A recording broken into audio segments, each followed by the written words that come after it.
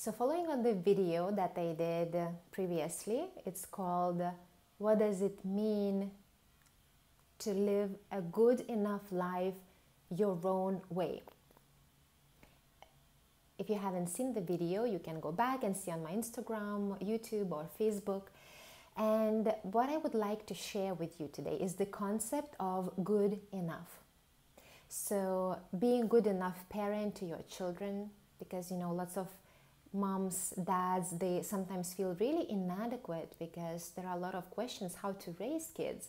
Am I good enough mom? Do I love enough? Do I give enough attention, enough connection, enough emotional support? Uh, coming to our business, am I, you know, good enough employee? Am I good enough lover? Am I good enough partner? Am I good enough at emotions? Am I good enough in, in my health?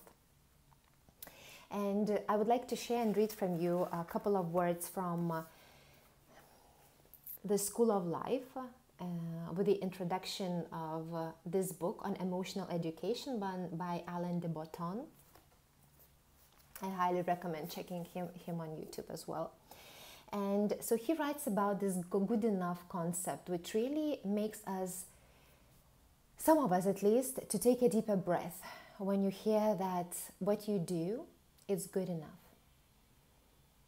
And some people can really be like, what do you mean good enough? I'm not going for good enough. I'm going for grandiose. I'm going for superb. I'm going for perfection. I'm going for, you know, and this word, this word that we use, and actually I loved using it, thriving. It's a beautiful uh, word. Like, I want to thrive, not to survive, right? But it also put a lot of pressure on, on all of us in various fields on our finances, the way we are in the family with our parents. Am I a good enough daughter to my parents? Could I be more supportive? Right? It's a lot of a lot of psychological and physical emotional pressure. So what uh, this book shares is that uh, um, Donald Winnicott in uh, 1950s. I guess he was psychologist or psychiatrist, and he specialized in relationships between parents and children. So he uh, actually nailed it or, or, or, made this, this, this phrase, which is um, the good enough parent. And so now a lot of psychologists also use this the good enough parent, but it's expanded into the all fields of our lives. And what uh, the book says that high ambitions are noble and they are important. But there is also a point when they become the sources of terrible trouble and unnecessary panic. And I guess lots of us can relate to being perfectionists. Like myself, you know, my hairstyle today is good enough to do this video. Uh, sometimes I do this video in 10 20 takes, even if it's a video of 10 minutes because I cannot find this middle ground of good enough. Uh, right, so what he's saying in the book is um, a relationship may be good enough even while it has its very dark moments. Perhaps at times there is little sex and a lot of heavy arguments. Maybe there are big areas of loneliness and non communication. Yet none of this should lead us to feel freakish or unnaturally unlucky. It can be good enough.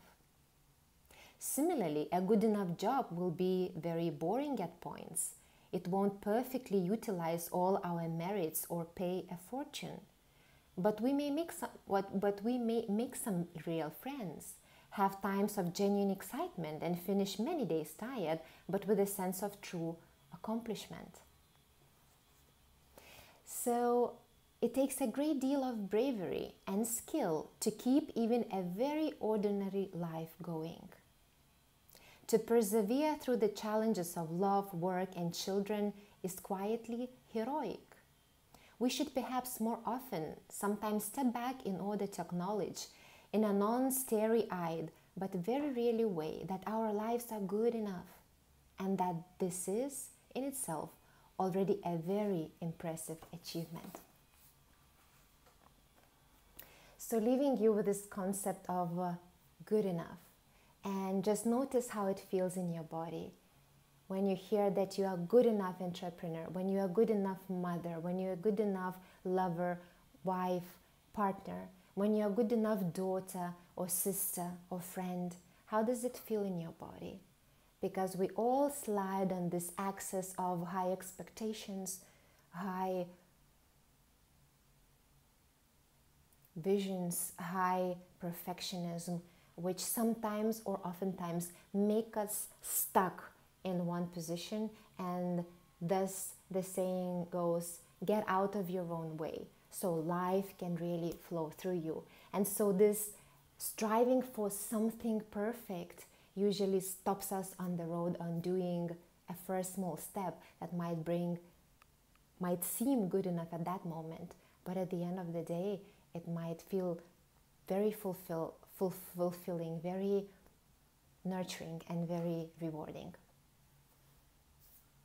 so think about your good enough in your life.